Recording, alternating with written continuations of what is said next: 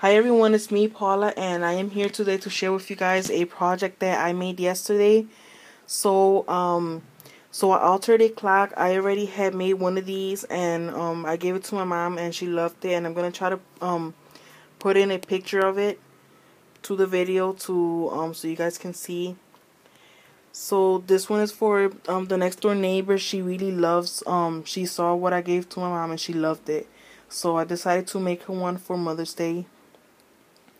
So that's what I did. So I added this trim here, pretty trim all around. And then I added some flowers, um, some baubles, some pearls here.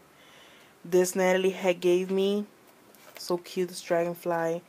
This Heather had gave me. She gave me a bunch of images. So I, I cut up and used one of those. So thank you.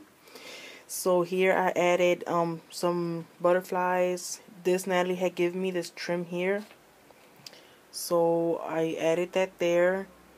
This Heather gave me also that cute butterfly and I've been using them on every single thing that I'm that I'm making. Um and then this Elena had gave me and I think so this is the packaging.